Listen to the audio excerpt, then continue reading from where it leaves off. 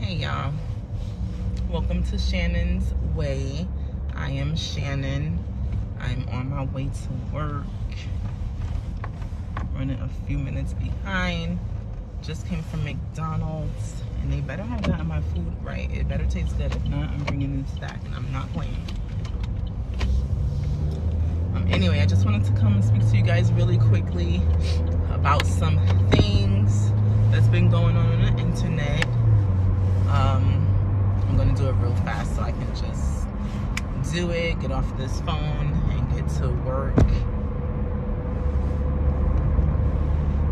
So, news has come out about uh, Wendy Williams saying that she now has dementia, which is really sad because who wants to have like that? She's only 59 years old.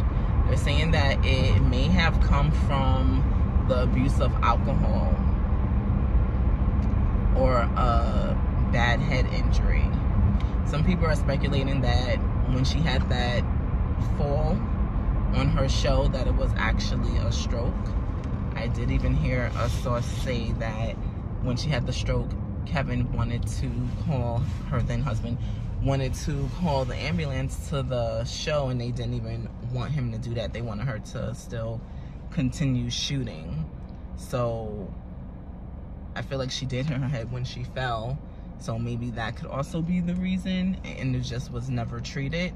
Or it could really be the alcohol a lot of people saying, oh, this is her karma. And like, how is it her karma? Karma because she's talking about people on the internet. People will do that every day. Literally every day. It doesn't matter if it's good news or bad news. Like, people speak about people on the internet every day. People have been speaking about people long before she even got on the internet. So that's just silly to say that that's the reason that she has this. Because if that was the case, then what about the listeners? And you'd be just as guilty. Oh Lord, this car, I don't know what this car is doing. Like you'll be just as guilty too, and you'll also um, get it as well. That doesn't make any sense. So people really need to stop saying that. It's real ignorant. Uh, she's going through something. Looks like uh, the people that she has around her, they may not be really good for her. Her her niece said that um, basically these people don't know her. Like they're just taking all her money, and I do believe that. And for me, like I've always said, like Wendy started spiraling during the pandemic. Um, once her, you know, and Kevin got divorced and he had that baby and then her mother her mother also died which nobody knew about that and i feel like her mother dying definitely put her over like over the edge and her niece also confirmed that like her niece said it was too much for her at one at one time like her son left to go to college husband got divorced from him and then he had a baby and then her mother died like she said that she never grieved and i can believe that because she was really really close to her mother. And when she announced it on her show, it was like, oh wow, like I felt like she should have took some time off. So that just confirms my thoughts from Denise. Um, I don't know why they're putting her personal information out. If she has dementia and she's not in the right state of mind, then what makes what gives them the right to put her information out? If anything, the information should have came from her son, who I guess doesn't have any contact with her. Um, apparently, Wendy can only call them, they can't call her. But if she has dementia, then she's to forget about them, so she's not to call them. I mean, that's how I feel. That's just common logic to me. But it is what it is. Hopefully, this care team that she has around her is, is going to actually treat her mental health the way they're supposed to treat it. And I don't know if this type of dementia that she has, if it is something that can get better depending on maybe some other findings, but it's the same thing that Bruce Willis has, is uh, what they're saying. So let's move on to Kelly Rowland. So everybody knows that Kelly uh, walked off the Today Show, I believe it was. Um, and with good reason. Like, I support her. Like, people trying to make it seem like, oh, she's a diva. No, she's not a diva. She's sick and tired of you guys asking her questions about Beyonce and playing in her face. Like, if she wanted a bigger dressing room, give her a bigger dressing room. She's been there plenty of times. Kelly Rowland can actually really sing her own lyrics, unlike J-Lo. I love J-Lo, but come on. For a long time, we thought she was singing and it was actually Ashanti. And they didn't give Ashanti any credit. But Kelly's actually doing her own thing. She's acting and she's good at it. She's good at performing. She's good at singing. So don't play in her face for J-Lo.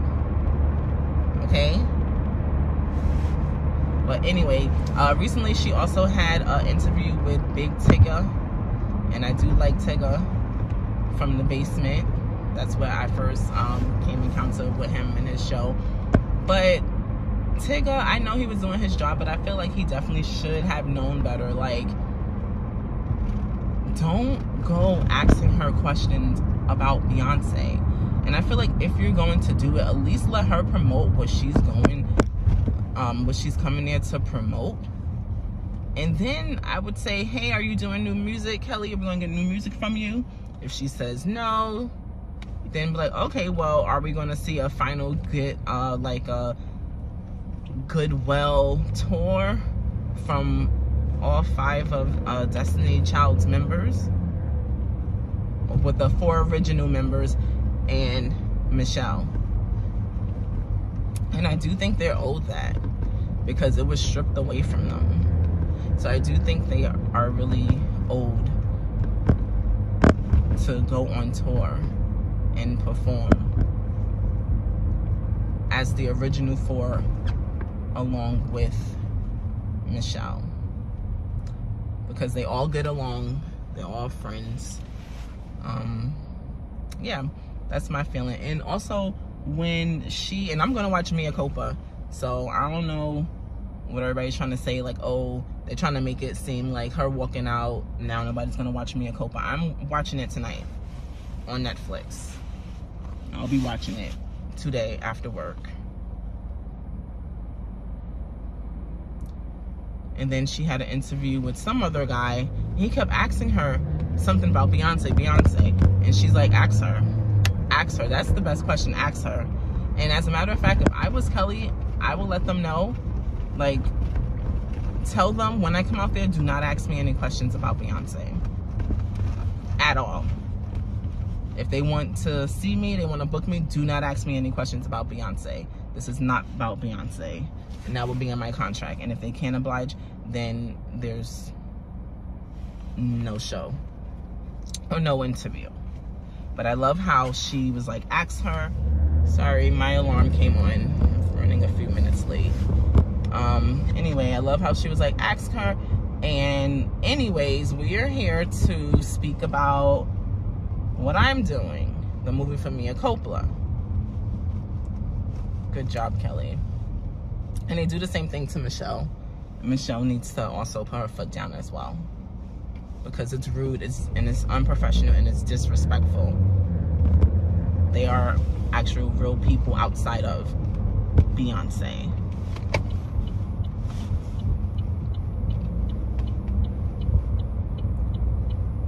And last story is about, um, I don't know where they're from. I just kind of read it quick on the internet this morning. Uh, these two parents are now being charged because a 10 and a 12 year old murdered a three year old, unalived a three year old. They left the 10 year old and the 12 year old and the three year old in the house alone by themselves while they went to go gambling at the casino, y'all. And apparently the 12 year old beat the crap out the three year old because she had bruises and scratches on her body from the physical assault of him hitting her. They said she died due to a like a blunt force. Um, so he hit her in the head with something. Now they, I even read that they said that this 12 year old has a history of violence. Like, dude, he's 12 years old. His mom should have, instead of her taking her behind out in the street to gamble, she should have been trying to get him some therapy, some help to figure out why is he so violent? Why is he doing this to certain kids? Now I don't know if the 10 and the 12 year was 12 year old was related or the 3 and the 10 year old was related. However, anyway, sources are saying that the ladies who the 3 year old mother the lady of the 3 year old and I guess maybe the 10 year old they were already complaining to her about the 12 year old bothering them, which she ignored. She didn't take them out the house, just left them in there to go to the casino. So yes, her and the sister or friend or whatever they are, they both do deserve to be charged. Now the 10 year old's going to jail and so is the 12 year old.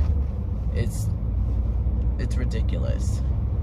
That mother should have got him help now it's too late. So, um, yeah, that's that. I'm about to pull into work. Um, hope you guys have a nice morning. And I'll see y'all later.